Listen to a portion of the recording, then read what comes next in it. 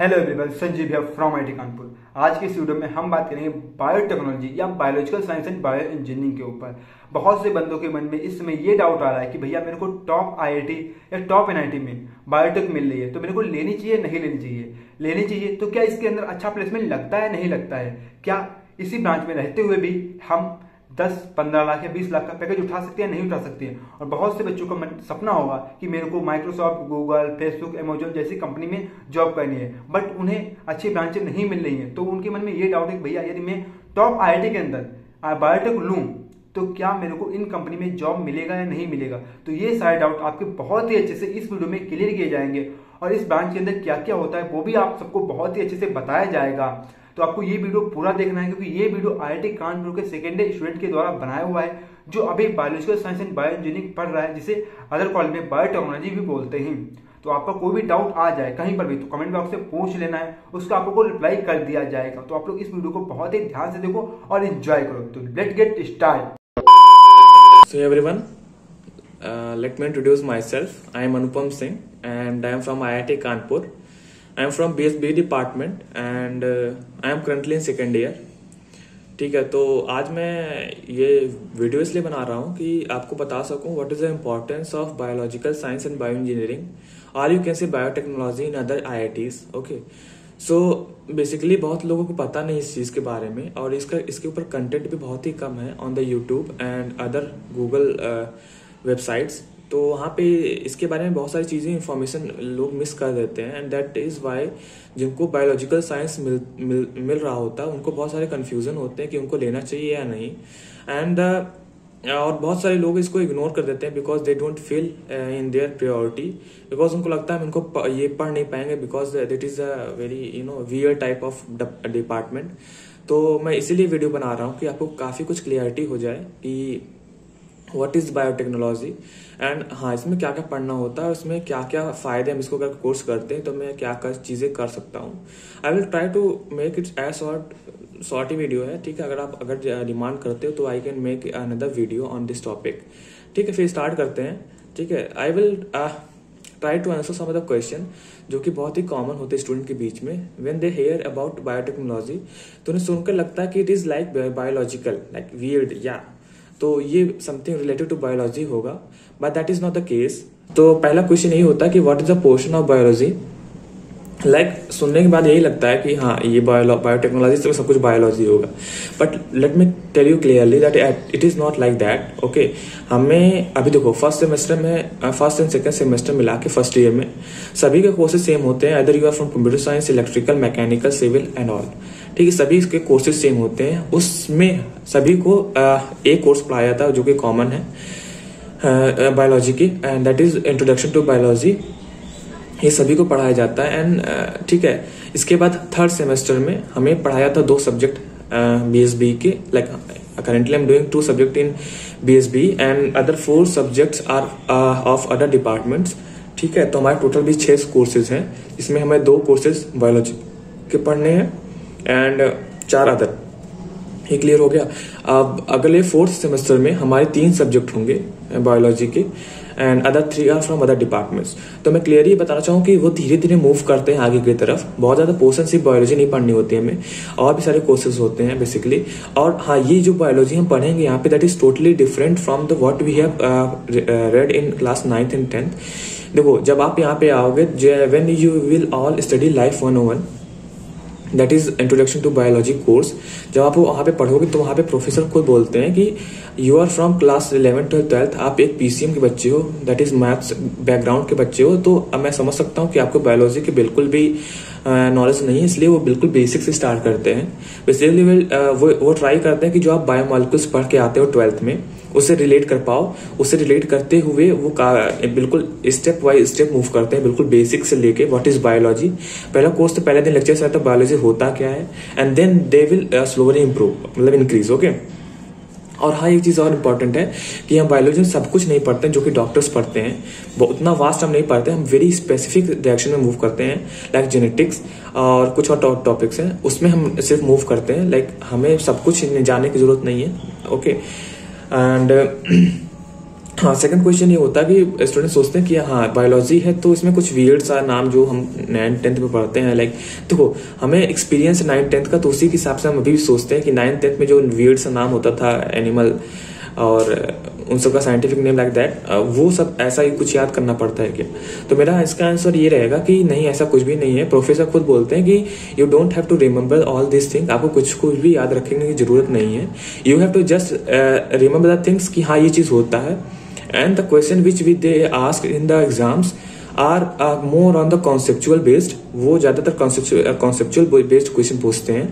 And they will give a situation जो आपको उसमें सोच कर आंसर देना पड़ता है। लाइक like अभी एक एग्ज़ाम हुआ था उसमें बता देता हूँ एक छोटा सा एग्ज़ाम्पल था। लाइक एक आदमी है वो इस टेम्परेचर पे खड़ा हुआ है and they are facing this problem so what how his body will response उसकी बॉडी लाइक like अभी आप गर्मी में हो तो आपका स्वेटिंग होने लगती है, पसीना होने लगता है and when you go to shivering करने लगते हो वाई इट इज़ हैपनिंग ऐसा क्यों हो रहा है?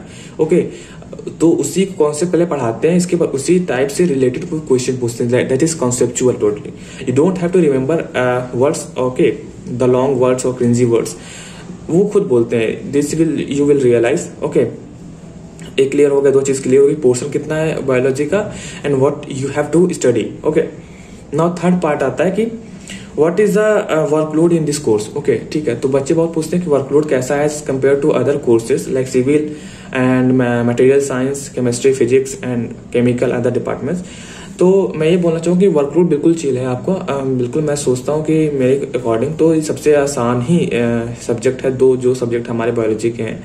बहुत ही कम वर्कलोड है।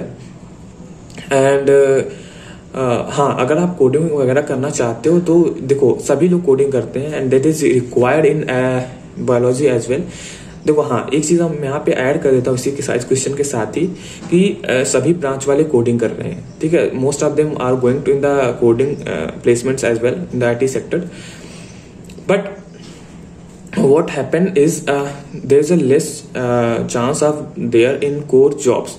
Like other departments की कोर्स अब बहुत ही कम है but what here happen biotech after 2019 after covid pandemic we have a double funding like just we have get a double funding हमारी जो फंडिंग वो डबल जस्ट हो गई. More than double okay I will say ठीक है तो उससे हो क्या रहा कि हमारे डिपार्टमेंट बहुत सारी चीज़ें आ रही हैं नई नई and you will get a very big opportunity कि आपको यहाँ पे कोर ब्रांचेस भी मिलेंगे कोर जॉब्स मिलेंगी। Second thing you can go into research third thing you can go in the startups if you want to do ठीक है? ये सारी चीज़ें हैं, अभी बताता हूँ मैं आगे, अभी आगे की वीडियो में मैं इसको कंटिन्यू करूँगा क्या क्या चीज़ें हैं।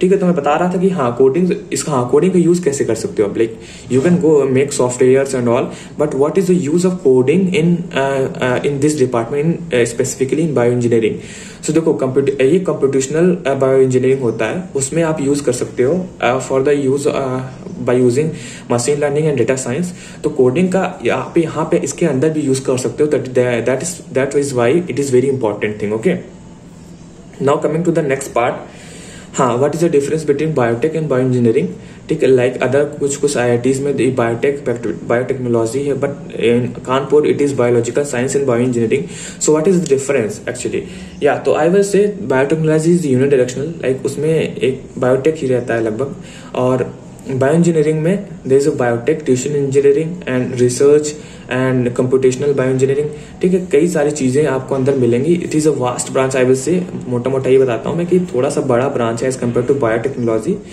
ठीक है now coming to the first fourth point हाँ लाइक आई विल से मैं इसको हायर प्रेफरेंस दूँगा biological science and bio engineering को। Then civil and material science and other branches why कुछ लोग कह रहे हो कि आपको इंटरेस्ट होगा। बिल्कुल नहीं मेरा ऐसा कुछ भी नहीं है। बट ऐसा मैं इसलिए कह रहा हूँ क्योंकि आफ्टर द कोविड पैंडेमिक इसमें मैंने जस्ट अभी बताया कि इसमें जो फंडिंग है जस्ट डबल हो गई है। It is very clear data ये कहीं ऐसे इंटरनेट से नहीं उठाया हुआ है। ये मेरे स्पेसिफिक अभी 20 साल पूरे हुए बीस बी के आई टी कानपुर के। तो उसमें आ, उसमें मुझे पता चला। And I have taken the photo ठीक है? तो ये बहुत ही प्रिसाइड डाटा है और ये इम्प्रूव करने वाला it is a very emerging field in upcoming years तो या that's why I will give it higher preference देखो, जो अभी हम कंपेयर करें civil material science and chemical mechanical all this branches ठीक है? तो जो कंपनियाँ आती हैं ओपन टू ऑल उसमें अगर कोडिंग के जाना तो it is totally based on your skill कि आपकी कितनी अच्छी कोडिंग आती है। और if coming to the core jobs ठीक है? तो उसमें उसमें सिविल और मटेरियल में in the India very less chance that you will get a core job if you go foreign then या there is a chances that you will get a good job but in biotech there is a very high chance that you will get a core job in India it क्योंकि अब देखो बहुत ही तेज़ी से improve कर रहा है and आने वाले पाँच सालों में ये और तेज़ी और ज़्यादा ग्रो कर जाएगा ठीक है? लाइक uh, फंडिंग like अभी डबल हुई है and it will be continuously increasing okay हाँ तो ये हो गया और हाँ इसमें मैंने, मैं चार पॉइंट बताऊँगा बेसिकली कि आप बायोटेक्नोलॉजी क्या क्या चीज़ें कर सकते हैं। पहला तो आप कोडिंग में जा सकते हो, जो कि सबको सबको ही जा रहा है।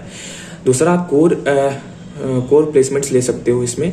Third point you can go towards research आप अगर, आपको थोड़ा सा भी इंटरेस्ट हो रिसर्च में लाइक अभी हमारे, अगर आप न्यूज़ पढ़ते हो तो बहुत सारी चीज़ें हमने रिसर्च में, हमारे पीएचडी में प्रोफेसर ने निकाला है। काफ़ी कुछ चीज़ें research mind in covid times तो या there is a lots of lab in our department biological sciences and जहाँ पे 24 घंटे लगातार वहाँ पे रिसर्च चलती रहती है like there is a shift wise ठीक है तो आप रिसर्च में जा सकते हो, आपको थोड़ा सा भी अगर इंटरेस्ट है रिसर्च में तो आपको यहाँ पे बहुत ही best I will say best faculty मिलेंगी एंड या रिसोर्सेज बहुत ही अच्छे हैं यहाँ पे रिसर्च के लिए. Now the fourth point is that you can do startup in this department this is very important that we do I don't know whether you know और नॉट स्टार्टअप के बारे में आपको पता है कि नहीं but in the medtech sector medical medicine sector there is a very high very there is a very high growth okay बहुत ही सडन इंक्रीज हुआ है इसमें. And if you want to थोड़ा सा आपको इंटरेस्ट एंड एंटरप्रेन्योरशिप स्टार्टअप के बारे में तो आप इसमें जा सकते हो. बिकॉज़ में कंपटीशन भी बहुत कम है ठीक है? इंडिया में बायोटेक वाले बहुत ही कम होते हैं and from from a good college that is also very least because सभी को सभी लगता है चलो कोडे में चलते हैं ठीक है? ठीक है तो ये सारी चीज़ें थी। Uh, अच्छा एक लास्ट क्वेश्चन ले लेते हैं कि अगर हमें एम टेक करना है या एम करना है चार साल बी टेक के बाद तो व्हाट इज़ द स्कोप तो हाँ देखो, आप, इसमें बी एस बी में भी एम टेक कर सकते हो। पाँच साल का कोर्स होता है लाइक चार four year for B tech and one year for M tech पाँच साल में आप ये दोनों कंप्लीट कर सकते हो B tech plus M tech और B tech plus M S ठीक है, आप अदर डिपार्टमेंट भी डिपार्टमेंट में भी कर सकते हो like C S in electrical और ऑल अदर ब्रांचेस ठीक है तो वो डिपेंड करता है आपकी सीपीआई के ऊपर आपकी सीपीआई कैसी है उसके हिसाब से आपको मिलती हैं चीज़ें। ठीक है तो मैं इस, इतना ही बताना चाहूँगा अगर आपको कोई और डाउट रह गया हो तो आप कमेंट सेक्शन में बिल्कुल मेंशन करो। I will try to answer that doubts okay ठीक है अगर आपका और कुछ जानना होगा तो I will make a second video on this topic because it is a very big topic I will not take much time मैंने छोटा छोटा चीज़ें बता दी हैं इसके बारे में ताकि आपको एक आइडिया लग जाए कि हाँ होता क्या है। ठीक है ओके ठीक है best of luck good luck यहाँ पे वीडियो एंड करते हैं, ठीक है थैंक यू